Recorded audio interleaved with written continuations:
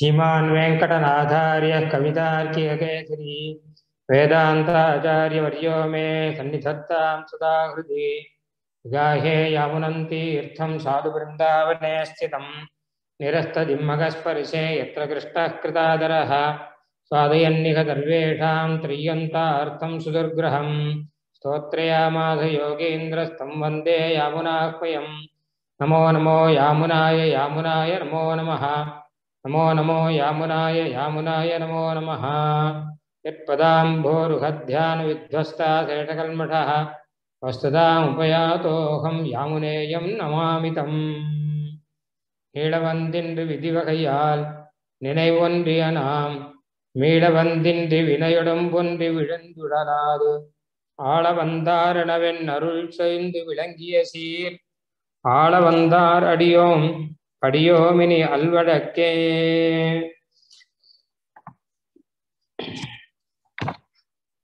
ನಮೋ ಚಿಂತ್ಯಾದ್ಭುತಾಕ್ಲಿಷ್ಟಜ್ಞಾನವೈರಾಗ್ಯರಾಶಯೇ ನಾಥಾಯ ಮುನಯೇ ಗಾಧ ಭಗವದ್ಭಕ್ತಿ ಸಿಂಧವೇ அடிவாசத்திலே உத்தராட திருநக்ஷத்திரத்திலே சுவாமி ஆளவந்தார் திருநக்ஷத்திர தினமாக இருக்கக்கூடிய ஒரு விசேஷ தினத்திலே ஆளவந்தார் அருளி செய்த எத்தனையோ சூக்திகள்ல ஏதாவது ஒரு விஷயத்தை அனுபவிக்கணும் என்பதாக பார்த்தபோது ஆளவந்தார் சரணாகதி என்கிற விஷயம் ஆச்சாரிய அனுகிரகத்தினாலே நமக்கு இப்பொழுது வாய்க்கிறது. ஆளவந்தார் சரணாகதிங்கிற விஷயத்துல சுவாமி தேசிகன் எத்தனையோ விஷயங்களை சாதித்திருக்கார். ஸ்தோத்திர ரத்ன பாஷ்யத்திலையும் ரகசிய திரைசாரம் முதலான கிரந்தங்களிலுமாக நாம் சேவிக்கலாம். ஆளவந்தார் அருளி செய்த ஸ்தோத்திர ரத்னம் அப்படிங்கிறது ஸ்தோத்திரமாக இருந்தாலுமே சரணாகதி தத்துவத்தை சொல்லுவதாக இருக்கு. அதாவது ஒரு பக்கம் பார்த்தா ஸ்தோத்திரம் ஒரு பக்கம் பார்த்தா சாஸ்திரம். ஏன்? சரணாகதி சாஸ்திரம் சரணாகதி விஷயங்கள்லாம் நிறையாக இருக்கு. ஆளவந்தார் தாம் சரணாகதி அனுஷ்டானம் செய்த பின்பு அதை ஜகத்துக்கு பிரகாசனம் செய்ய வேண்டும் என்பதற்காக இந்த ஸ்தோத்திர ரத்தத்தை செய்கிறார் என்று சொல்லலாம். ஏனால் எல்லா ஆச்சாரியர்களும் ஆழ்வார்களும் அப்படிதான் பண்ணியிருக்கா. சுவாமி நம்மாழ்வார் சரணாகதி பண்ணி அதை பிரகாசனம் பண்ணார். அடிக்கீழ் அமர்ந்து புகுந்தேனே என்பதாக திருவேங்கடமுடையார் சன்னதியிலே அதே மாதிரிதான் ஆளவந்தான் ஸ்தோத்திர ரத்னம் அருளை செய்தார். அதே மாதிரிதான் எம்பெருவானார் ஸ்ரீபாஷ்யக்காரர் கத்தியத்திரையும் அருளி செய்தார். அந்த மாதிரிதான் சுவாமி தேசிகன் ஞாச தசகம் அடைக்கலப்பத்து முதலானதெல்லாம் அருளி செய்கிறார். அவரவர்கள் சரணாகதி அனுஷ்டானம் பண்ணுகிறார்கள். அது பின்னாடி வந்தவாளுக்கு தெரியணும். அவர்கள் பண்ணினார்கள்ங்கிறது தெரியணும். எப்படி அனுஷ்டானம் பண்ணினார்கள் அப்படிங்கிறது தெரியணும். அதுல இருக்கக்கூடிய சூக்மமான அம்சங்கள் எல்லாம் தெரியணும். அதற்காக அதையே பிரகாசனப்படுத்துகிறார்கள். இந்த ஸ்தோத்திரங்களிலே இப்படித்தானே நாம பார்க்கிறோம். அந்த ரீதியில இந்த ஸ்தோத்திர ரத்னத்துல ஆளவந்தாருடைய சரணாகதி அப்படின்னு எடுத்து பார்த்தோமானால் எத்தனையோ சூக்ஷமான அர்த்தங்கள் நமக்கு கிடைக்கும். அதுல சில விஷயங்களை மாத்திரம் நாம் இப்பொழுது பார்க்கலாம். ஆளவந்தார் ஸ்தோத்திர ரத்தம் அருளி செய்வதற்கு முன்னாடி சதுஸ்லோகி அருளி செய்கிறார். அதுல பெரிய பிராட்டியார் தாயார் லக்ஷ்மி தேவி பத்தியான ஸ்தோத்திரம் அது. அதில் பிராட்டியாருடைய பெருமைகள் பிராட்டியாருடைய புருஷகாரத்துவம் பிராட்டியாருடைய உபாயத்துவம் பிராட்டியாருடைய உபேயத்துவம் எல்லாவற்றையும் பற்றி அருளை செய்கிறார். சதுஸ்லோகி நாலு ஸ்லோகம் ஆனாலும் அது ரொம்ப சின்ன ஸ்தோத்திரமாக இருந்தாலும் நிறைய விஷயங்கள் இருக்கு. அதற்கப்புறம் பெருமாளை பற்றிய ஸ்தோத்திரம் தான் ஸ்தோத்திர ரத்னம் என்பது. துவயமந்திரத்திலே முதல்ல ஸ்ரீமத் அப்படின்னு பிராட்டியாரை சொல்லி பிறகு பெருமாளை சொல்லுகிறபடினாலே அதே கிரமத்திலேயே ஸ்தோத்திரம் அருளை செய்கிறார். இதுல சீமன் நாராயண சரணவ் அப்படிங்கிறபடினாலே உபய விபூதி விசிஷ்டனான கல்யாண குண பரிபூர்ணனான சர்வஸ்மாத் பரனான சர்வேஸ்வரனான சர்வலோக சரண்யனான எம்பெருமானை சிமன் நாராயண அப்படின்னு துவயத்திலே குறிப்பிடுகிறார். அந்த விஷயங்களை எல்லாம் இந்த ஸ்தோத்திர ரத்னத்திலே கிரமேண அருளி செய்கிறார். ஒவ்வொரு ஸ்லோகத்திலும் மெதுவா ஆரம்பிச்சு முதல்ல ஸ்தோஷியாமின குலதனம் குலதெய்வதந்த பாதாரவிந்த மரவிந்த விரோச்சனஸ்யன்னு ஆரம்பிச்சு. நான் ஸ்தோத்திரம் பண்றேன்னு ஆரம்பிச்சு சர்வஸ்மாத் பரன் அப்படின்னு ஆரம்பிக்கிறார். ஸ்ரீயப்பத்தின்னு ஆரம்பிக்கிறார் கஸ்ரீ ஸ்ரீயா பரமசப்த சமாசிரயக்கா என்பதாக ஆரம்பித்து அவனுடைய கல்யாண குணங்கள் அவனுடைய விபூதிகள் இது எல்லாவற்றையுமே அருளி செய்கிறார்.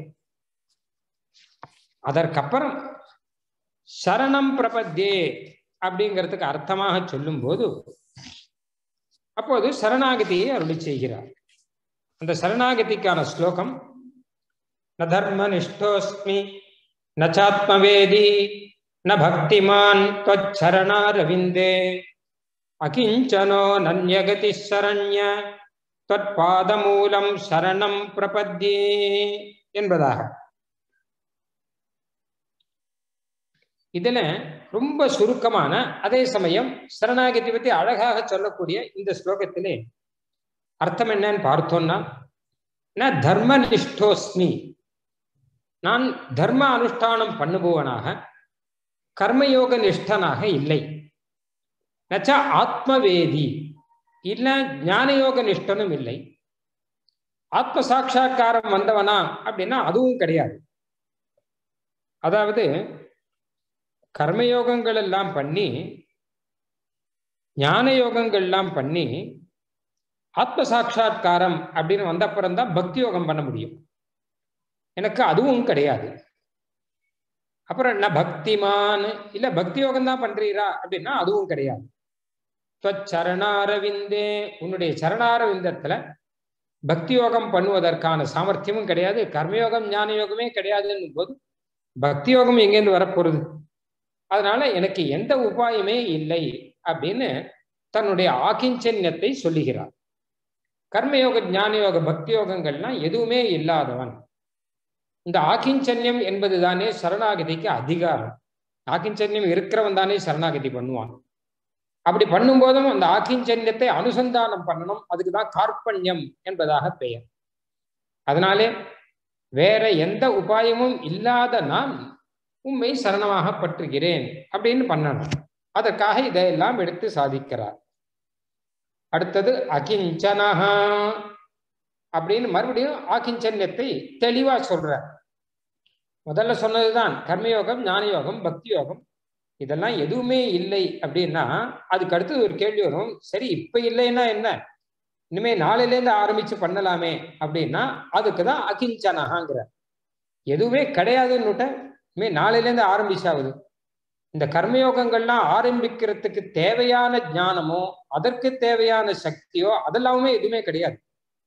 ஆரம்பங்கிற பேச்சே கிடையாது.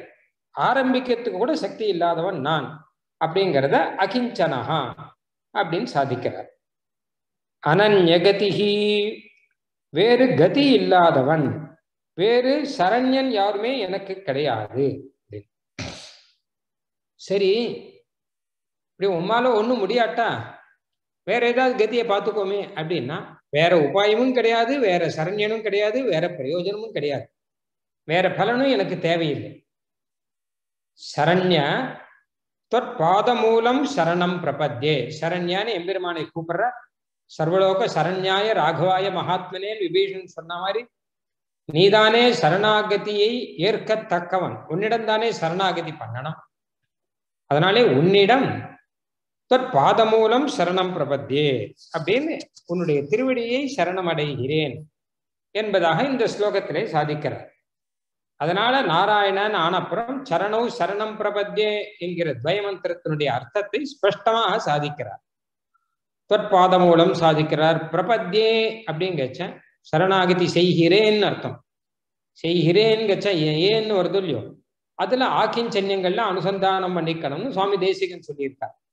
அந்த ரீதியில அகிஞ்சனஹா அனன்ய கதிகி ஆக்கிஞ்சன்யம் அனன்ய கதித்துவம் இது ரெண்டும் தானே அதிகாரத்துல சேர்ந்தது. அதனால அந்த ரெண்டையுமே சேர்த்து சொல்றார். எனக்கு வேற உபாயம் செய்வதற்கான சக்தியும் கிடையாது. வேற பலனும் அபேட்சை கிடையாது. எதுவும் இல்லாமல் இருக்கிற நான் தொற்பாத மூலம் சரணம் பிரபத்தே அப்படின்னு எம்பெருமானிடம் சரணாகதி செய்யக்கூடிய அற்புதமான ஒரு ஸ்லோகம் இது. அடுத்த ஸ்லோகம் சாதிக்கிறார். ந நிந்திதம் கர்ம ததஸ்தி லோகே சகசிரசோ என்னமயா வியதாயி சோகம் விபாகாவசரே முகுந்த. கிரந்தாமி சம்பிரதி அகதிஹி தவாக்ரே. சரி இப்போ எந்த உபாயமும் நீர் பண்ணலை அப்படின்னா இருக்கட்டும். பரவாயில்ல. பின்னாடி மெதுவா பண்ணலாமே. இன்னைக்கு பண்ணல நாளைக்கு பண்ணல. மெதுவா அடுத்த ஜென்மத்தில் பண்ணிக்கலாம். இல்ல அதுக்கு அடுத்த ஜென்மத்தில் ஆரம்பிச்சு பண்ணிக்கலாம். ஒன்றும் அவசரம் இல்லையே மெதுவாக பண்ணுமே அப்படின்னா அதற்கு பதில் சொல்றார் இந்த ஸ்லோகத்துல எந்த ஜென்மத்திலும் எனக்கு சரணாகதி தவிர வேற கதி கிடையாது. சரணாம்புத பிரபத்தேகே அந்நது நமே கல்பகோடி சகசிரேனாபி சாதனமஸ்தி இது மன்வானஹான்னு கத்தியத்துல வரும். பாஷ்யகாரர் சாதிக்கிறார். உன்னுடைய திருவடியில சரணாகதி அடைவது தவிர வேற கதி எனக்கு எத்தனை கல்ப கோட்டி வந்தாலும் எனக்கு கிடைக்காது. ஏன் அப்படின்னா அப்படிப்பட்ட பாபாத்மா நான் பாபமே பண்ணின்னு இருக்கிறவனுக்கு எப்படி நல்ல காரியம் நல்ல சாதனங்கள் நல்ல உபாயங்கள்லாம் தெரிய வரும்? கர்மயோகம் ஞான யோகம்லாம் அடுத்த ஜென்மத்திலோ அதுக்கு அடுத்த ஜென்மத்தில் வரணும்னா அதற்கேற்ற சுகிருத்தங்கள் எல்லாம் பண்ணியிருக்கணுமே. நான் எதுவுமே பண்ணலை. நான் என்ன பண்ணேன் அப்படின்னு கேட்டால் நிறைய பாபம் பண்ணேன். என்ன பாபம் பண்ணேன் அப்படின்னா உங்களுடைய கேள்வி தப்பு. என்ன பாபம் பண்ணேன்னு கேட்காதையும் என்ன பாப்பம் பண்ணலைன்னு கேளு. ஏன்னா எல்லா பாப்பமும் பண்ணி வச்சிருக்கேன். பண்ணாததுதான் எதுவுமே கிடையாது. நான் நிந்திதம் கர்ம ததஸ்தி லோகே சகசிரசா என் நமயா வியதாயி. லோகத்துல எடுத்து பார்த்தா நான் பண்ணாத பாவம் அப்படின்னு ஒண்ணு கிடையாது. சரி அப்படி கணக்கு வேண்டாம். ஒரு தடவை ரெண்டு தடவை பண்ணான்னு வச்சுக்கோங்க. அப்ப பண்ணாத கணக்கு வச்சிடலாம். நிறைய தடவை பண்ணாதான் பாப்பம் பண்ணதாக கணக்கு அப்படின்னு சொல்லலாம். லோகத்துல உதாரணமா சில பேர் வந்து ரெண்டு மூணு பொய் சொன்னா பரவாயில்லப்பா அப்படின்னு விட்டுருவா ஓயாம பொய் சொல்றவன தான் வெய்வா அந்த மாதிரி சொல்லலாம்னா சகசிரசா ஆயிரம் தடவை பண்ணியாச்சு. எல்லா பாப்பும் ஒவ்வொரு பாப்பமும் ஆயிரம் தடவைக்கு மேல பண்ணியாச்சு. ஆயிரக்கணக்கான தடவை ஆயிரம் தடவை இல்லை ஆயிரக்கணக்கான முறை அனந்த பாவங்களையே செய்து வந்திருக்கேன். நான் செய்யாதது எதுவுமே கிடையாது. அதனால இனிமே எனக்கு அதெல்லாம் வாய்க்காது. என்ன இப்ப என்னன்னு கேட்டா இப்ப அந்த பாபங்களுடைய பலனாக சம்சாரம் வரும் பொழுது ரொம்ப பயமா இருக்கு. கிரந்தாமி இப்ப கதறுகிறேன். காரொளி வண்ணனே கண்ணனே கதறுகின்றேன். எனக்கு வேற கதி கிடையாது. சோகம் விபாக்காவசரே முகுந்தா கிரந்தாமி சம்பிரதி அகதிஹி தவாக்ரே.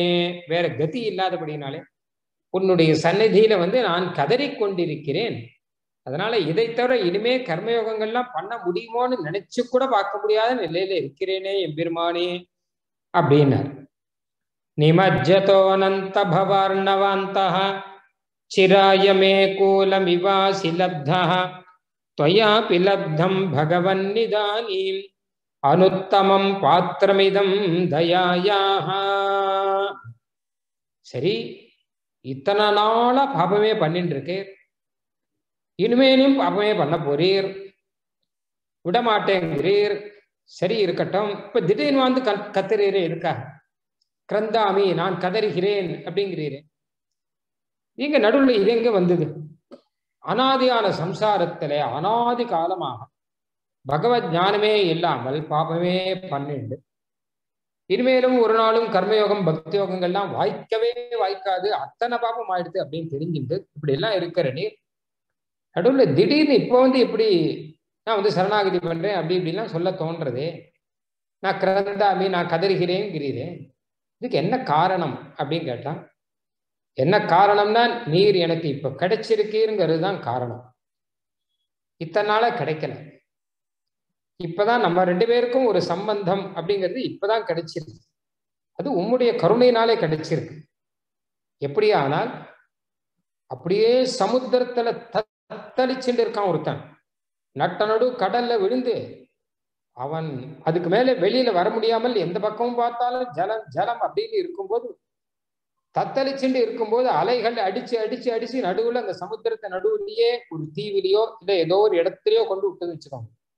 உடனே பட்டுன்னு அதை பிடிச்சுப்பான் இல்லையா?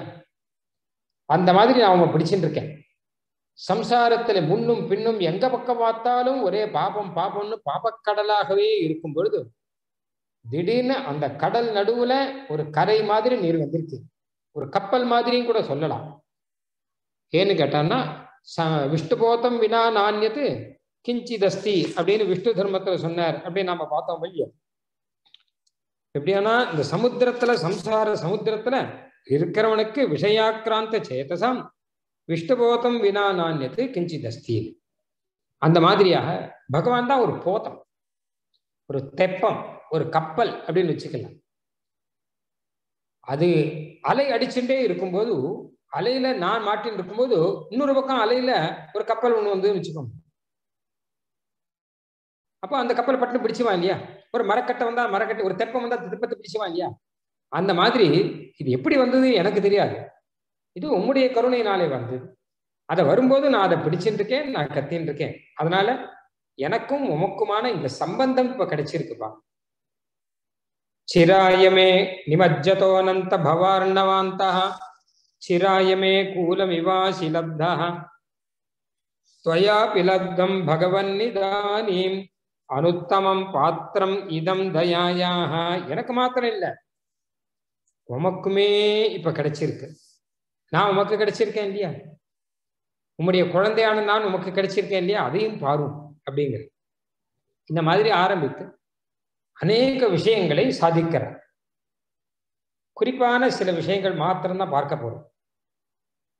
அபராத சகசிரபாஜனம் பதிதம் பீம பவார் நவோதரே அகதிம் சரணாகதம் ஹரே கிருபையா கேவலம் ஆத்மசாத் குரு அதுக்கப்புறம் ஒரு கேள்வி வரும் அனாதி காலமாக அபராதம் பண்ணிட்டு இருக்கேன் இப்பவும் நிறைய தப்பு பண்ணிட்டு இருக்கு இனிமேலும் தப்பு பண்ணிட்டு இருக்கோம் இல்ல நமக்காக தான் நம்மளை பார்த்து சொல்றதா வச்சுக்கணும். அப்போ வந்து ஆனா மாத்திரம் சரணாகதி பண்ணிட்டு எனக்கு மோட்சம் வேணும் மோட்சம் வேணும் அப்படின்னு கேட்கிறீர். ஏதாவது உபாயம்னு ஒண்ணு இருந்தா பரவாயில்லை. ஒரு உபாயமே இல்லாமல் சரணாகதி பண்றதுன்னா சரணாகதினா என்ன அப்படின்னு கேட்டா நீரே பலன் தரணும் அப்படின்னு பிரார்த்திக்கிறது தானே சரணாகதி. நான் எந்த உபாயத்தையும் பண்ணலை நீரே பலன் தரணும் அப்படின்னு பிரார்த்திச்ச இவ்வளோ பாபம் பண்ணவனுக்கு வெறுமை இப்படி ஒரு பிரார்த்தனா? இதை வச்சுட்டு நான் எப்படி பலன் கொடுக்க முடியும்? அப்படின்னு ஒரு கேள்வி வரும். அதுக்கு சொல்றார் எம்பெருமானே என்கிட்ட இருக்கிற உபாயம் என்ன? அப்படின்னு பார்க்காதீங்க இது ஒண்ணுமே கிடையாது. உம்முடைய சுவாவத்தை பாரும். கருணை அப்படிங்கிறது இந்த சமுத்திரத்துக்கு மேல உமக்கு இருக்கு. என்னுடைய பாப்பம்ங்கிறது சமுத்திரம் மாதிரி இருக்கா மாதிரியா? உங்ககிட்ட இருக்கக்கூடிய கருணை அப்படிங்கிறது அதுவும் சமுத்திரம் மாதிரி இருந்துருக்கு அகமஸ்மி அபராத சக்கரவர்த்தி கருணே துவஞ்ச குணேஷு சார்வபௌமி அப்படின்னு சொன்ன மாதிரி நான் அபராத சக்கரவர்த்தி நீர் குண சார்வபௌமாக கருணை இருக்கு. அந்த கருணையைத்தான் நான் உபாயமா கேட்கிறேன். என்கிட்ட உபாயம் கிடையாது. உங்ககிட்ட கருணை இருக்கும் இல்லையோ அந்த கருணையினாலே எனக்கு அனுகிரகம் பண்ணணும். அபராத சகசிரபாஜனம். அபராதங்கள் ஆயிரக்கணக்கில் பண்ணியிருக்கேன் பண்ணிட்டு இருக்கேன் பண்ண போறேன் பதிதம் பீம பவார் நவோதரே. சமுத்திரத்துல விழுந்த மாதிரியா? சம்சார சாகத்துல விழுந்திருக்கேன். அகத்தியம் வேற கதி இல்லாமல் இருக்கேன். சரணாகதம் உங்ககிட்ட சரணாகதி பண்ணியிருக்கேன். ஹரே. இத்தனையும் சொன்ன பிறந்தா பெருமாள் கேட்டிருக்க சரணாகதி பண்ணானப்ப ஏதாவது உபாயம் சொல்லுமே. சரணாகதி பண்ணி எங்கிட்ட வந்து பலன் கொடுன்னு பிரார்த்திக்கிறீர். உபாயம் என்ன? அப்படின்னு கேட்டா கிருபையா கேவலம் ஆத்ம சாத்குரு உம்முடைய கருணையினாலே. என்னுடைய சரணாகதினா என்னன்னு கேட்டா உம்முடைய கருணையை உபாயமாக ஆக்குவதுதான் சரணாகதி. எங்கிட்ட எதுவுமே கிடையாது எங்கிட்ட எந்த உபாயமே கிடையாது. உம்முடைய கருணையினாலே எங்களுக்கு பலன் அளிக்க வேணும் அப்படின்னு பிரார்த்திக்கிறது தான் சரணாகதி. அதனால கிருபையா கேவலம் ஆத்ம சாத்குரு இந்த கருணையினாலே நீர் எனக்கு அனுகிரகம் பண்ண வேணும் என்று பிரார்த்திக்கிறார். இதனாலே சரணாகதி ஸ்வரூபத்தை இன்னும் ஸ்பஷ்டமாக சொல்லுகிறார். பகவான் அதனால்தான் சுவாமி தேசிகன் தயாசதகம் சாதிக்கிறார். என்ன சரணாகதி பத்தி சொல்லணும்னா சரணாகதினா என்னன்னா எம்பெருமானுடைய தயை தான் தயையை உபாயமாக ஆக்குதல். நம்ம கிட்ட உபாயம் இல்லை. பெருமாளுடைய தயை உபாயம் அப்படிங்கறது தெரிஞ்சுட்டு இந்த பெருமாள் கிட்ட சரணாகதி பண்ணுதல். அப்ப அவன் கருணையினாலே பலன் கொடுப்பான். உபாயத்தினாலே பலன் கொடுக்கல. கருணையினாலே பலன் கொடுக்கிறான் அப்படின்னு இப்போ சரணாகத்தினா என்னன்னா அது ஒரு வியாஜம். அவனுடைய கருணையை பெற்றுக்கொள்வதற்கான ஒரு வியாஜமாக இருக்கு. ததகம் தொதிருதேன நாதவான் மதிருதே துவம் தயனீயவான் விதி நிர்மிதமே தமன்வயம் பகவன் பாலய. மாஸ்மதீகபகா எம்பெருமானே என்கிட்ட கருணை காமிக்கிறோம்னா நீர் எனக்கு நாதன் சுவாமி. நான் உம்முடைய தாசன். அதுவும் தயனீய தாசன். அதாவது அகிஞ்சரனாக நான் வந்து அனுகிரகம் பண்ண வேண்டிய தாசன். என்கிட்ட தான் தயா பண்ணணும் விதி நிர்மித மேதம் அன்மயம் நமக்கு ரெண்டு பேருக்கும் இருக்கக்கூடிய இந்த சம்பந்தம் நான் தாசன் நீர் சுவாமிங்கிற சம்பந்தம் இருக்கும். இது அனாதியா இருக்கு. இது இப்ப உண்டானது இல்லையே. அதனால பகவானே இந்த சம்பந்தத்தை பெற்று இத்தனை நாள் நான் அதை இழந்து இருந்தேன். இப்போ சரணாகதி பண்ணியிருக்கேன். பகவன் பாலய மாஸ்மதீகபகா அந்த மாதிரி நீரும் இதை பாலனம் பண்ணணும். உம்முடைய தாசன் அப்படிங்கிறதை அப்படியாங்கிறதாக என்னை ஏற்றுக்கொண்டு எனக்கு அனுகிரகம் பண்ண வேணும் அப்படிங்கிறது. இதனாலே சொன்ன விஷயம் என்னன்னு கேட்டா பகவானுக்கும் நமக்கும் இருக்கக்கூடிய தாசத்துவம் அப்படிங்கிற சம்பந்தம் அனாதியானது. இது சரணாகிதி பண்ணாதான் தாசன் சரணாகிதி பண்ணாட்டா தாசன் இல்லை அப்படிங்கிறது கிடையாது. சரணாகிதி பண்ணாலும் பண்ணாட்டாலும் பகவானை செவிச்சாலும் செவி காட்டாலும் எல்லாருமே தாசர்கள் தான் பெருமாளுக்கு இப்போ சரணாகதியில என்ன பண்றோம் அப்படின்னு கேட்டா அந்த தாசபாவத்தை உணர்ந்து கொண்டு அந்த ஆத்மாவை சமர்ப்பிக்கிறோம் பெருமாள் கிட்ட. எம்பெருமானே நான் தாசன். இத்தனை நாள் அதுக்கு விபரீதமாக ஆச்சரணம் பண்ணிட்டு இருந்தோம். அது இல்லை நான் தாசன் இந்த ஆத்மா உனக்கு சேஷம் இது உன்னுடையதை போய் என்னுடையது நான் நினைச்சிட்டு இருந்தேன். நான் இதை சமர்ப்பிக்கிறேன். இது உன்னுடையது தான் சமர்ப்பித்தல்னா என்ன? ஆத்மாவை சமர்ப்பித்தல்னா கையில எடுத்து பழம் சமர்ப்பிக்கிற மாதிரி சமர்ப்பித்தல். அப்படி வராது. பின்ன என்ன கேட்டா நான் வந்து என்னோட எனக்கு எனக்கு உரியவன் அல்ல உனக்கே உரியவன் உன்னுடைய தாசன் அப்படின்னு அனுசந்தானம் பண்றதுக்கு இதுதான் சமர்ப்பித்தல் அப்படிங்கிறது. அதனால அந்த சம்பந்தம் அப்படிங்கிறது ரொம்ப முக்கியம். தாசத்துவ சம்பந்த அனுசந்தானம் அப்படிங்கிறது ரொம்ப முக்கியம். இதுதான் ஆத்ம சமர்ப்பணம் அப்படிங்கிறதாக சொல்லியிருக்காங்க. இதை தான் இந்த ஆத்ம சமர்ப்பணம் பண்ணி தான் பரசமர்ப்பணம் பெருமாள் கிட்ட பண்றோம். வபுராதிஷு யோபி கோபி வா குணதோசாலி யதா ததா விதா ததயம் தவ பாத பத்மயோ அயம் அகம் அத்யைவ மயா சமர்ப்பிதா. அடுத்து ஒரு கேள்வி வரும். நீர் ஏதோ ஆத்ம சமர்ப்பணம் அப்படின்னு ஒண்ணு பண்றீரே ஆத்மானா என்ன? தெரியுமா? தெரிஞ்சுதானே சமர்ப்பணம் பண்ணணும். ஏதோ ஒன்று எடுத்து சமர்ப்பணம் பண்ணுறதா என்ன? ஆத்மானா என்ன? இந்த விஷயம் தெரியுமா? ஆத்மாவுக்கு என்ன ஸ்வரூபம் ஆத்மாவுக்கு என்ன ஸ்வபாவங்கள் அதெல்லாம் தெரியும்? எல்லாம் தெரிஞ்சுட்டு தான் ஆத்ம சமர்ப்பணம் பண்றீரா? இல்லை தெரியாமே ஆத்ம சமர்ப்பணம் பண்றீரா? நாம் சமர்ப்பணம் பண்ணணும்னா அதை பற்றி தெரிஞ்சுக்கணும் இல்லையோ? பெருமாளுக்கே பழங்கள்லாம் சமர்ப்பிக்கணும்னா எந்த பழம் எப்படி இருக்குங்கெல்லாம் தெரியணும் இல்லையோ? எதை சமர்ப்பிக்கலாம் எதை சமர்ப்பிக்க கூடாது அப்படின்லாம் இருக்குது எப்படிப்பட்ட பழமா இருக்கணும் எப்படிப்பட்ட பழமா இருக்கக்கூடாது அப்படிங்கிறதெல்லாம் இருக்கு. இப்படியெல்லாம் இருக்கும் இல்லையோ? பழங்கள்லயே வாழைப்பழம் தான் சிரேஷ்டம். விசேஷமானது. சில பழங்கள்லாம் சமர்ப்பிக்கலாம். சில பழங்கள்லாம் சமர்ப்பிக்க கூடாது. வாழைப்பழங்கள்லயே அழுகினதெல்லாம் இருந்தா சமர்ப்பிச்சா அபச்சாரம். இப்படிலாம் நிறைய இருக்கும் இல்லையோ? அதனால ஆத்மா சமர்ப்பணம் பண்றேன்னா முதல்ல ஆத்மாவை பத்தி தெரியுமா உனக்கு? ஆத்மா யாரு? ஆத்மாவுக்கு சுவாவம் என்ன? அது எப்படிப்பட்டது? அப்படின்னு நீ சமர்ப்பிச்சீரா அப்படின்னு கேட்டா அதுக்கு பதில் சொல்றார். அதெல்லாம் தெரியாது. வபுராதிஷு யோபி கோபிவா ஆத்மாங்கிறது சரீரமா? இந்த சரீரம் தான் ஆத்மாவா? இந்திரியம் தான் ஆத்மாவா? எதுன்னு புரியல. சரீரம் தான் ஆத்மாவா? இந்திரியம் தான் ஆத்மாவா? பிராணவாயு தான் ஆத்மாவா? மனசு தான் ஆத்மாவா? ஞானம் தான் ஆத்மாவா? இல்ல இது எல்லாத்த காட்டிலும் வேறே ஆத்மா அப்படின்னு ஒண்ணு இருக்கா? சரீரம் இந்திரியம் பிராணம் மனசு ஞானம் எல்லாத்த காட்டிலும் வேறையாக ஆத்மான்னு ஒண்ணு இருக்கா? இதெல்லாம் தெரியாது. ஆத்மா பத்தி ஆத்மானா என்னங்கிறது முதல்ல தெரியாது. ஏன்னா ஒருத்தர் ஒரு மாதிரி சொல்லிட்டு இருக்கான் எனக்கு என்னன்னு புரியல. சரி ஆத்மாவுடைய குணம் சுபாவம் ஏதாவது தெரிஞ்சுதா அப்படின்னா அதுவும் தெரியல. ஆத்மா சின்னதா இருக்குமா பெருசா இருக்குமா? ஆத்மாவுக்கு குணம் ஞானம் என்ன? நித்தியமா அநித்தியமா? அதெல்லாமும் தெரியல. சரி ஒண்ணுமே தெரியாம வந்து சமர்ப்பிக்கிறீரே அப்படின்னு கேட்டா ஒன்னே ஒண்ணு தெரியும் என்ன கேட்டா இந்த ஆத்மா உம்முடைய சொத்து. இது என்னுடையது இல்லை. உண்மை சேர்ந்தது. உண்மை சேர வேண்டியது. அதை போய் நான் என்னுடையது நினைச்சுட்டு இருக்கேன். அது தப்பு. ஆக உம்முடையதுன்னு தெரிஞ்சா உங்ககிட்ட கொடுத்துட வேண்டியதுதானே? அதுக்கப்புறம் அதுல என்ன இருந்தா எனக்கு என்ன? நாமே ஒரு வஸ்துவை பார்க்கணும் ஒரு பை ஒன்று இருக்கு. ட்ரெயினில் போயின்னு இருக்கும்போது அது பக்கத்தில் ஒருத்தர் உட்காண்டிருந்தார் அவர் அதை விட்டுட்டு போயிட்டார் அப்படின்னா உடனே கிட்டக்கு போய் அவர்கிட்ட அதை கொடுத்துடணும். அப்படிதானே பண்ணுறோம் அந்த பைக்குள்ள என்ன இருக்குது கொடுக்கலாமா? வேண்டாமா? அப்படிங்கிற யோசனை எல்லாம் வந்துட்டுன்னு வச்சுக்கோங்க. அப்போ அதுவே ஒரு திருட்டு திருட்டுத்தனம். ஏன்னா அவருடையதுன்னு தெரிஞ்சு அவர்கிட்ட கொடுத்துடணும். அதுக்குள்ள என்ன இருந்தால் நமக்கு என்ன? அதில் எவ்வளோ ரூபா இருக்குன்னு பார்க்கலாமா? அப்படின்லாம் பார்க்கக்கூடாது இல்ல அது ஒரு திருட்டுத்தனம் தானே அந்த மாதிரியாக உம்முடையது அப்படின்னு தெரிஞ்சா உங்ககிட்ட கொடுத்துட்றேன். அதுக்கப்புறம் அது எப்படி இருந்தா எனக்கு என்ன? அப்படிங்கிற பபுராதுஷு யோபி கோபி வா குணதோசானி யதா ததாவிதா ததயம் தவ பாத பத்மயோகோ அகம் அத்தியைவ மயா சமர்ப்பிதா. அப்படியே சமர்ப்பிக்கிறதுக்கு காரணம் அது உன்னுடையது அப்படிங்கிறபடியினாலே அப்படிங்க.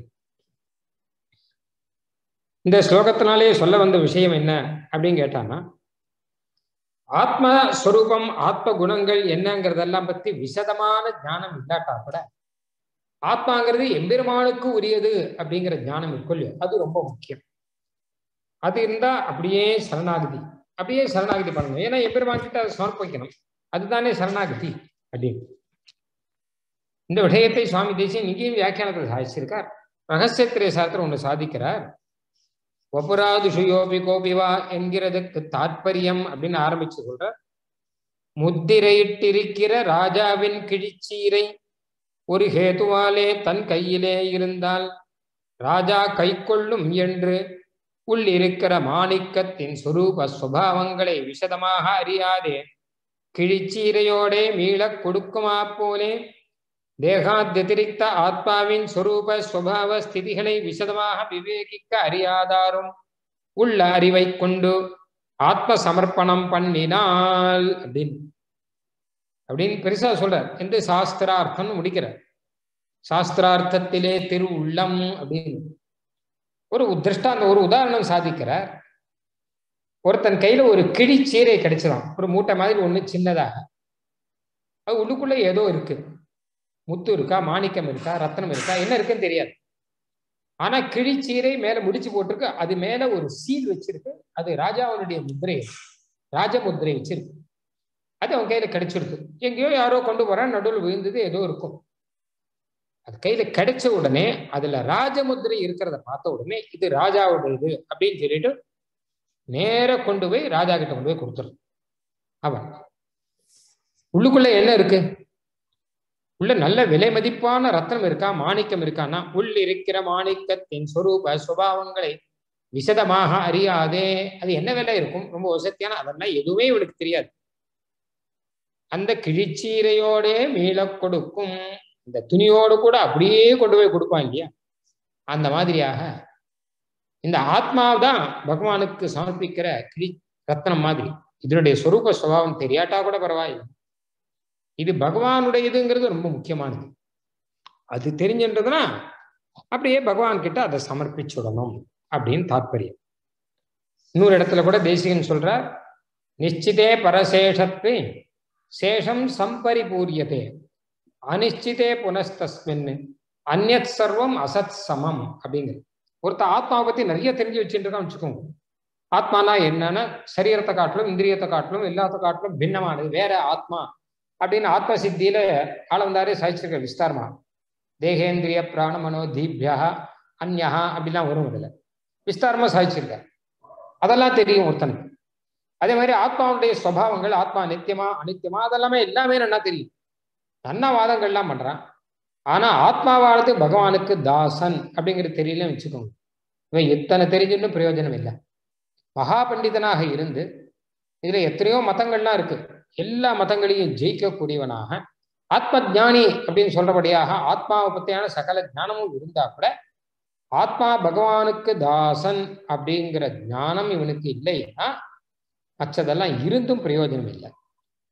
அதே ஆத்மாவுக்கு பக ஆத்மாவானது பகவானுக்கு தாசன்கிற ஞானம் வந்துருத்தும்னா மற்றது இல்லாட்டாலும் பரவாயில்லை அப்படின்னு ஒரு ஸ்லோகத்துல சாதிக்கிற ரகசிய சாரத்தில் தான் அந்த ரீதியிலே நான் உன்னுடைய வஸ்து இது. அப்படின்னு தெரிஞ்சுட்டு உன்னுங்கிட்ட சமர்ப்பிக்கிறேன் அப்படின்னு சாதிக்கிறேன். மம நாத யதஸ்தி யோஸ்மியகம் சகலம் தத்தி தவைவ மாதவ. நியதஸ்வம் இதி பிரபுத்ததீஹி. அதவா கிண்ணு சமர்ப்பயாமி தே அடுத்த ஸ்லோகம். நாத எம்பெருமானே நான் இந்த ஆத்மாவை உன்னிடம் சமர்ப்பிக்கிறேன்னு சொன்னேனே. நான்கிறது யாரு? இந்த ஆத்மாங்கிறது என்ன? என்ன? என்னுடையதுன்னு என்ன இருக்குன்னு யோசிச்சு பார்த்தேன் எதுவுமே கிடையாது. எனக்குன்னு ஒண்ணுமே கிடையாது. ஏன்னா எல்லாமே உன்னுடையது. நானும் ஒண்ணு கிடையாது. ஏன்னா நான்கிறதே உன்னுடையது தான். அப்போ உன்னுடையதை போய் உன்கிட்ட சமர்ப்பிக்கிறதா? சமர்ப்பிக்கிறதா நம்முடையதை இன்னொருத்தருக்கு கொடுக்கணும். அதுதானே சமர்ப்பணம் அப்படின்னு பெயர். நமக்குன்னு என்ன இருக்கோ அதை இன்னொருத்தரிடம் கொடுக்கணும். அதுதானே சமர்ப்பணம் அப்படின்னு பெயர். அவனுடையதே எடுத்து அவனுடைய கொடுக்கறதுக்கு சமர்ப்பணம் பேரன் ஆனால் நான் சமர்ப்பணம் பண்றேனேன்னா இது என்ன வேடிக்கை அப்படிங்கிறார். மமநாத யதஸ்தி யோஸ்பியகம் சகலம் தத்தி தவைவ மாதவா. எல்லாமே உன்னுடைய தானேப்பா நியதஸ்வம் உன்னுடைய சொத்து தானே அதவா கின்னு சமர்ப்பயாமிதே. நான் என்ன சமர்ப்பணம் பண்ணுவேன் உனக்கு? அப்ப சமர்ப்பணம் பண்றேன்னு சொன்னேனே. நான் என்ன சமர்ப்பணம் பண்ணுவேன்? உனக்கு சமர்ப்பணம் பண்ணுவதற்கு என்ன இருக்கு? அப்படின்னு கேட்கறேன். இந்த ஸ்லோகத்தினுடைய தாற்பயம் என்ன? அப்படிங்கிறதையும் அந்த ரகசிய திரைசாரத்திலே மமநாத யதஸ்தி என்கிற ஸ்லோகத்திலும் அப்படின்னு ஆரம்பிச்சு. அப்படின்னா ஆத்ம சமர்ப்பணம் பண்ணக்கூடாதா அப்படின்னு கேள்வி வரும். என்ன நான் என்ன சமர்ப்பிப்பேன்? உன்னுடையதேவே உனக்கு எப்படி சமர்ப்பிப்பேன்? அப்படின்னா அப்ப சமர்ப்பணம் ஆத்ம சமர்ப்பணம் பண்ணக்கூடாதா? பரநியாசம் பண்ணக்கூடாதான்னா அப்படி அர்த்தம் இல்லை. ஏன்னா பரநியாசம் பண்ணக்கூடாதுன்னு சொன்னா அப்புறம் ஏன் ஆளவந்தார் பண்ணாருன்னு ஒரு கேள்வி வரும். பண்ணியிருக்காரே. அப்ப என்ன அர்த்தம் அப்படின்னு கேட்டா நான் ஆத்ம சமர்ப்பணம் பண்ணேன். பண்ணும்போது நான் என்னுடைய ஆத்மாவை உமக்கு சமர்ப்பணம் பண்றேன்னு சொல்லி சமர்ப்பணம் பண்ணல. உன்னுடைய ஆத்மாவை உமக்கு சமர்ப்பணம் பண்றேன்னு சொல்லி தான் சமர்ப்பணம் பண்ணேன். என்னுடையது கிடையாது.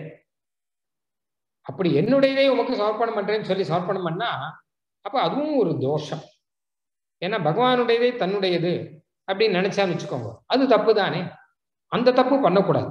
சரணாகத்தியில் முக்கியமான ஒரு விஷயம் பெருமாளிடம் சமர்ப்பிக்கும் போது என்ன எனக்கு சொந்தமான ஒரு ஆத்மாவை உமக்கு சமர்ப்பிக்கிறேன்னு சொன்னா அப்போ அது தப்பு.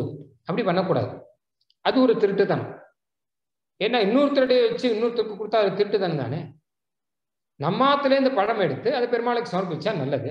பக்கத்தாத்துலேருந்து பழம் எடுத்து பெருமாளுக்கு சமர்ப்பிச்சோன்னு வச்சுக்கோங்க இது எந்த விதத்தில் நியாயம்? பக்கத்தாத்து பழத்தை திருடி அது பெருமாளுக்கு சமர்ப்பிச்சா? வேற ஒருத்தர் கொடுத்த புஷ்பமோ பழமோ அதை பெருமாளுக்கு சமர்ப்பிச்சா கூட அது கொடுத்தவருக்கு தான் பழம் பழங்கிற சாஸ்திரங்கள் என்ன சொல்லியிருக்காங்க கேட்டா ஒரு பழம் ஒன்று ஒருத்தர் கொடுக்குறேன்னு வச்சுக்கோங்க பெருமாளுக்கு சமர்ப்பிச்சு சொல்லி. அப்ப நாம சமர்ப்பிக்கிறோம் அர்ச்சகர் மாதிரி வச்சுக்கோங்க. நமக்கு பலன் கிடையாதான் அவருக்கு தான் பலன் இருக்கு. அப்படின்னு ஸ்பஷ்டமா சொல்லியிருக்கு. அப்படி இருந்துச்சு திருடி கொடுத்தா எப்படி பலங்கிறது வரும்? அவர் சம்மதத்தோட கொடுத்தாலே நமக்கு பலன் கிடையாது. திருடி கொடுத்தா எப்படி பலன் வரும்? இதெல்லாம் திருட்டுத்தனம். திருடி கிருடி வந்து பெருமாளுக்கு கொடுத்தா அது ஒரு அபகாரம்.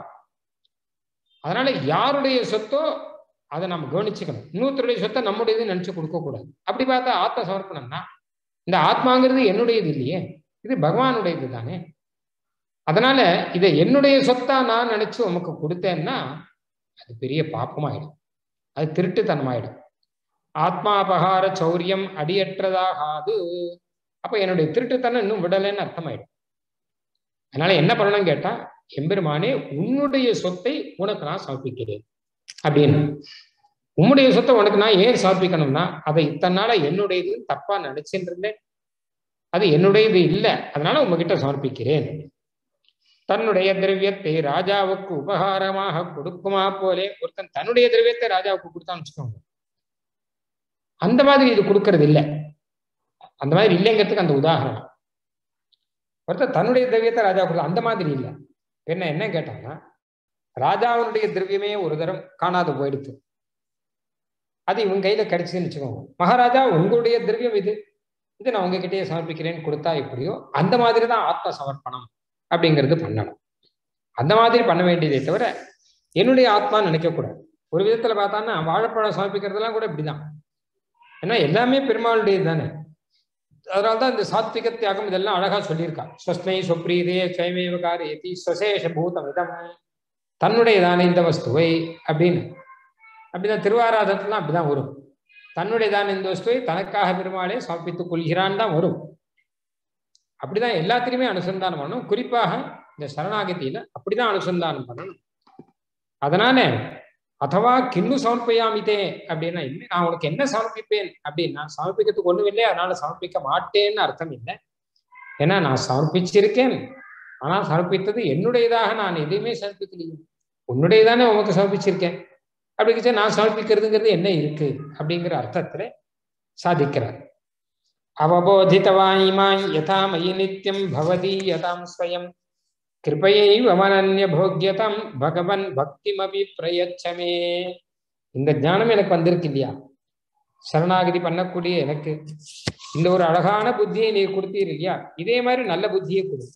இதே மாதிரி நல்ல பக்தியை கொடும் இதெல்லாம் தான் நான் பிரார்த்திக்கிறேன் அப்படின்னு அதையே பிரார்த்திக்கிறார். பெருமாளுடைய அனுகிரகத்தினால்தான் இந்த புத்தி அப்படிங்கிறதே வரும். பிதாத்வம் மாதாத்வம் தைத்த தனயஸ்துவம் பிரிய சுகிருத் त्वमेव त्वं मित्रं गुरुरसि गतिश्चासि जगतां त्वदीयः त्वद्भृत्यः तव परिजनः त्वद्गतिः अहं प्रपन्नश्च एवं सति अहमपि तवैवास्मि हि भरः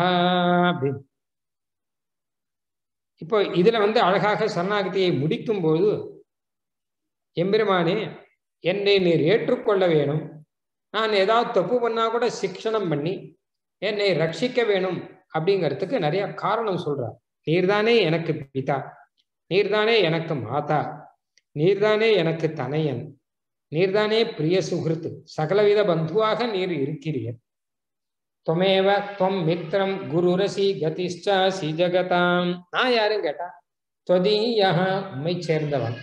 தொத்பிருத்தியா உன்னாலே ரட்சிக்கப்பட வேண்டியவன். தவ பரிஜனஹா உன்னை சேர்ந்த தாசன். துவத்கதிகி உன்னை தவிர வேற கதி இல்லாத உண்மையே கதியாக எல்லாவற்றுக்கும் மேல பிரபன்னஸ்ட உன்னிடம் வந்து சரணாகதி பண்ணின. இத்தனை இருக்கும் ஏவம் சதி அகமபி தவை வாஸ்மி ஹிபரஹா. அப்படியானால் என்னை உம்முடைய பொறுப்பு தானே என்னை ரட்சிக்க வேண்டியது உம்முடைய பொறுப்பு தானே வேற என்ன இருக்கு? அப்படின்னு விசேஷமாக அனுசந்தானம் பண்ணுகிறார். எம்பெருமானிடம் பரத்தை சமர்ப்பித்து நம்ம நமக்கு இருக்கக்கூடிய பரப்பை பரத்தை பொறுப்பை துறக்க வேண்டும். என்னுடையது ஒன்றும் இல்லை நான் உன்னையே சேர்ந்தவன். பிரதியா தொத் பிருத்தியா தவ பரிஜனா தொத் கதி நீர் யாரும் கேட்டா எனக்கு பிதா எனக்கு மாதா. நான் வேற ஒருத்தர் கண்டவர்கிட்ட போய் கொடுக்கல. யார் உரியவரோ அவர்கிட்ட என் பரத்தை ஒப்படைக்கிறேன். அதனால் நீர் பிதாவாவும் மாதாவாவும் பிரிய சுகிருத்தாவும் குருவாகவும் கதியாகவும் இருக்கக்கூடியவர். நான் யாரும் கேட்டான்னா உண்மை சேர்ந்தவன். உம்மால் பரிக்கப்பட வேண்டியவன் உன்னுடைய பரிஜனன் உண்மையே கதியாக உடையவன் உம்மிடம் சரணாகதி செய்தவன் அப்படின்னா. அப்போ என்னுடைய ரட்சண பொறுப்புங்கிறது உமக்கு தானே இருக்கு. எனக்கு இதுல அன்வயமே இல்லை. நான் என்னை ரட்சித்துக் கொள்ளணும் அப்படிங்கிறதே கிடையாது அப்படின்னு மொத்தமாக பர சமர்ப்பணத்தை கொடுத்து சுவநிர்பரத்துவ பரியந்தாங்கிறார் எனக்கு பரம் கிடையாது மொத்த பரணம் உனக்கு தான் அப்படின்னு அந்த அளவு அந்த பரதமர்ப்பணங்கிறது அது வரைக்கும் போய் நிக்கணுமா? அப்படின்னு அந்த ஒரு விஷயத்தையும் சாதிக்கிறார் அகிருத்திரிமத்வ சரணாரவிந்த பிரேம பிரகர்ஷாவதி மாத்மவந்தம் அதுக்கு முன்னாடி ஒரு ஸ்லோகம் நனு பிரபன்ன சகிருதேவ நாத தவாகமஸ்மீதி ச யாச்சமானः தவானுகம்பியஸ்மரத பிரதிஜாம் மதேகவர்ஜம் கிமிதம் விரதந்தே பெருமானே நானு சகிருதேவ ஒரே தடவை சரணாகிதி பண்ணிருக்கேன் தவாகமஸ்மி உண்மை அடைவதே எனக்கு பலனாக வேணும் உம்முடைய கைங்கரியமே பலனாக வேணும் அப்படின்னு பிரார்த்திச்சிருக்கேன். இந்த ஸ்தோத்திரத்தினுடைய சாரத்தை சொல்ற கடைசி ஸ்லோகத்துக்கு மூணு ஸ்லோகம். நான் உண்மை சரணாகதி பண்ணியிருக்கேன் ஒரு தடவை. நான் பல தடவை சரணாகதி பண்ணல. ஒரு தடவை சரணாகதி பண்ணியிருக்கேன். நீரே பலனாக வேணும் உங்க கைங்கரியமே வேணும் பிரார்த்திச்சிருக்கேன். அதனால் நீர் என்ன பண்ணணும்னு கேட்டா உம்முடைய வச்சனத்தை கொஞ்சம் நினைச்சு பார்க்கணும். சகிருதேவ பிரபன்னாய தவாஸ்மீதி ஜெயாச்சதே அபயம் சர்வபூதேபியோ ததாமி ஏதத் விரதம் மமான்னு சொன்னீர் இல்லையா? ஒரு தடவை சரணாகதி பண்ணால் நீரே பலனாக வேணும். பிரார்த்திச்சால் அபயம் கொடுக்கிறேன் நீரே. அந்த ராமாயணத்திலே ஸ்ரீராமபிரான் அருளி செய்த வசனத்தை ஸ்மரிச்சுக்கும் கொஞ்சம். ஸ்மரிச்சுட்டு எனக்கு அனுகிரகம் பண்ணணும் அப்படின்னு. என்ன நானும் அதே மாதிரி தான் ஒரு தடவை சரணாகதி பண்ணியிருக்கேன். சரணாகதியே பண்ணாத கோஷ்டியில் நான் சேரலை. இல்ல பல தடவை சரணாகதி பண்ணணும்னு சொல்ற கோஷ்டியில சேரல. நனு பிரபன்னா சக்ருதேவநாத. நீர் என்ன சொன்னீர்? சக்ருதேவா பிரபன்னாயம் தானே சொன்னீர். நானும் ஒரு தடவை சரணாகதி பண்ணியிருக்கேன். அதனால அதை ஸ்மரிச்சுக்கும் மதேகவர்ஜம் கிமிதம் விரதந்தே. ஏதத் விரதம் மமன்னு சொல்லிட்டீரே. நான் காப்பாற்றுவேன்னு சொல்லிட்டு விட்டா பரவாயில்ல. அபயம் கொடுப்பேன்னு சொல்லிட்டு விட்டா பரவாயில்ல. அபயம் கொடுப்பது என்னுடைய விரதம்னு சொல்லிட்டே இல்லை அப்ப எனக்கும் கொடுத்தாங்க ஏன்னா விரதம்னு சொன்னா பூர்த்தியா இருக்கணும் இல்லையோ? எல்லா ஏகாதசியும் விரதம் இந்த ஏகாதசி தவிர அப்படின்னு சொல்லுவாள்னா இது கிடையாது. அதனால இது என்ன விரதம்? என்னை விட்டுட்டு விரதம் வந்தா விரதமாண்ணா ஆளை வந்தா தவிர மற்ற பேருக்கெல்லாம் இந்த விரதம். அப்படி சொல்லுவாருன்னா கிடையாது. மதேக ஜம் கிமிதம் விரதந்தே. இந்த விரதம் என்ன தவிரவா அப்படி ஒரு விரதம் உண்டா? அப்படியானால் அது விரதம் ஆகுமா? நேரே சர்வபூதேபியோ ததாமி ஏதத் விரதம் மமாந்தான்னு சொல்லி அப்ப என்னையும் ரட்சிக்க வேண்டாமா? அப்படின்னு தாம் செய்த சரணாகதியை திருடமாக்கி எம்பெருமானிடம் இந்த பிரார்த்திக்கிறார். அகிருத்திரிமத்வச்சரணாரவிந்த பிரேம பிரகர்ஷாவதி ஆத்மவந்தம் பிதாமகம் நாதமுனிம் விலோக்கிய பிரசீதமத்விருத்தம் அச்சிந்தயித்வா அதெல்லாமே இருக்கட்டும் எம்பெருமானே. நான் சரணாகதி பண்ணியிருக்கேன். இவன் சரணாகதி பண்ணபடினாலே இவனை ரட்சிக்கணும்னா இந்த சரணாகதிக்கெல்லாம் மூலமாக ஒன்று இருக்கு. நான் பிதாமகன் நாதமுனிகள் இருக்கார் இல்லையா? அவருடைய பேரனாக நான் இருக்கேன். அதனால அதை பார்த்து எனக்கு அனுகிரகம் பண்ணணும் அப்படின்னார். எப்படியானால் ஆச்சாரிய சம்பந்தத்தை இட்டு நாம் சொல்றோமோ? அந்த மாதிரியாக என்னுடைய சரணாகதிக்கு மேலே உம்மால மீற முடியாத ஒரு விஷயம் ஒன்று இருக்கு. நான் நாதமுனிகளுடைய பேரன் அப்படிங்கிற விஷயம் இருக்கு. நாதமுனிகள் தான் நமக்கு ரொம்ப வேண்டியவர் அச்சு. அதனால என்னுடைய பிதாமகம் நாதமுனிம் விலோக்கிய அவரை பாரும். பிரசீதம் அத்விருத்தம் அச்சிந்தைத்வா இல்லாட்டா என்ன ஆகும் கேட்டா சரணாகதிங்கிறது பண்ணிட்டான். ஆனா சரணாகதி பண்ண இவன் எப்படி இருக்கான்? சரணாகதி பண்ணிட்டுன்னா அவன் ரொம்ப மோசமா தானே இருக்கான். ஏதோ சரணாகதி பண்ணாதவா இருக்க மாதிரி தான் சரணாகதி பண்ணவனும் இருக்கான். சரணாகதி பண்ணாதவாளுக்கும் சரணாகதி பண்ணவாளுக்கும் ஏதாவது வித்தியாசம் தெரியுதுதான் நான் லோக்கத்தை ஒன்றும் தெரிய காணும் எல்லாரும் ஒரே மாதிரி தான் இவனும் அபசாரப்படுறான் இவனும் அபசாரப்படுறான் எல்லாம் ஒரே மாதிரி தான் இருந்துட்டு இருக்கான். ஒரு வித்தியாசமும் தெரியல. அப்போ நீர் எப்படி இருக்கு? அப்படின்னு கேட்டாங்க. நான் மகா பாபிஷ்டனாக அப்போ வந்து என்னன்னோ சொல்றாரு இல்லையா? சுச்சிம் அவிநீதம் அலஜம் அவிநீதம் வினீதம் வினயங்கள்லாம் எதுவுமே இல்லை. திக சுச்சிம் அவிநீதம் நித்தயம் மாமலஜம்னா சொல்ற மாதிரியா? ஒரு ஆச்சாரம் கிடையாது ஒரு அனுஷ்டானம் கிடையாது ஒரு வெக்கம் கிடையாது எதுவுமே கிடையாது. அமரியாதா க்ஷுத்ரஹா சலமதி அசூயா பிரதபூஹு கிருதக்னா துர்மானி. அப்ப பெருமாள் கேட்கிறாரா சரி சரணாகதி பண்ணிட்டு வாஸ்தவம். இவ்வளவு மோசமா இருக்கிற. என்னதான் சரணாகதி பண்ணா கூட ரொம்ப மோசமா இருக்கிறவனுக்கு போய் கொடுக்கறதா? சரணாகதி பண்ணா ஏதாவது ஒரு வைலக்ஷன் ஒரு வித்தியாசம் தெரிய வேண்டாம். சரணாகதி பண்ணிட்டு நித்தியகர்மானுஷ்டானம் பண்றதே கிடையாது. சரணாகதி பண்ணிட்டு பெருமாள் கிட்ட அபசாரப்படாம இருக்கிறதே கிடையாது. இந்த மாதிரிலாம் காலத்தை ஓட்டினா பண்ணவனுக்கும் பண்ணாதவனுக்கும் என்ன வித்தியாசம்? அப்படின்னா அதுக்கு சொல்றார் அது வாஸ்தவம் தான் சுவாமி. நான் சரணாகதி பண்ணியிருக்கேன். என்னுடைய நிலைமை எடுத்து பாராதையும் நான் நாதமுனுடைய பேரன்கிறத நினைச்சு பாருன்னு ஒரு பெரிய போடா. பிதாமகம் நாத முனிம் விலோக்கிய பிரசீதம் அத்விருத்தம் அச்சிந்தயித்வா. அதான் நம்ம சரணாகத்தில் நாம் ஆச்சாரிய சம்பந்தத்தை சொல்றோம். ஆச்சாரனுடைய சம்பந்தத்தை பாரும் அப்படின்னு சொல்றோம். அதனால அப்படியெல்லாம் விசேஷமாக இந்த சரணாகதி சாஸ்திரத்தை பத்தி பல விசேஷங்கள் அருளி செய்கிறார். சைவா சரணாகதி காட்டில ஆச்சாரிய சம்பந்தத்தை இட்டு சரணாகதி பண்ணும்போது அதுல இருக்கக்கூடிய பெருமைகள் அப்படிங்கிறது இதுல தெரியும். இந்த கடைசி ஸ்லோகத்தினால. மத்விருத்தம் அச்சிந்தைத்வா நான் எப்படி மோசமா இருக்கேன் அதெல்லாம் நினைச்சு பார்க்க வேண்டாம் அப்படின்னு சாதிக்கிறேன் சரணாகதி பண்ணச்சியும் சரணாகதி பண்ணிட்டும் பகவானே வெறுக்கத்தக்க பாவங்கள்லாம் நாம செய்தா கூட ஏதோ இந்த ஆச்சாரனுடைய சம்பந்தம் இருக்கு. சரணாகதி பண்ணியிருக்கான். அப்படின்னு வச்சுட்டு எம்பெருமான் சிக்ஷை கொடுப்பான். அதை சரியாக்கி நம்மை ஏற்றுக்கொள்வானோ? அந்த மாதிரி ஏற்றுக்கொள்ள வேணும் என்பதாக பிரார்த்திக்கிறேன். இப்படியாக சரணாகதி பற்றியான பல விஷயங்கள் ஆத்மாவை எப்படி சமர்ப்பணம் பண்ணணும்? நான் சரணாகதிக்கு தேவையான அங்கங்கள் எவை? இந்த விஷயங்கள் எல்லாம் நிறைய இருக்கு. இதுல அடியன் சங்கிரகமாக யதாமதி விஜாபனம் பண்ணேன். ஆடவந்தாருடைய அனுகிரகத்தினால அவருடைய திருநட்சத்திர தினத்துல கொஞ்சம் வாக்கு சஃலமா இருக்கு. ஆச்சாரியருடைய அனுகிரகம் இருக்கு. நமோ நமோ யாமுனாய யாமுனாய நமோ நமஹா. நமோ நமோ யாமுனாய யாமுனாய நமோ நமஹா. கவிதார்க்கிக சிம்ஹாய கல்யாண குணசாலினே. ஸ்ரீமதே வெங்கடேசாய வேதாந்த குரவே நமஹா.